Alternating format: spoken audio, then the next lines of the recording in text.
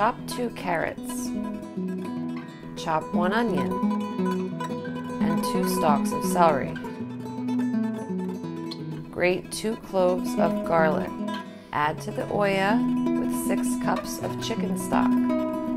Add three cups lentils and one tablespoon of oregano.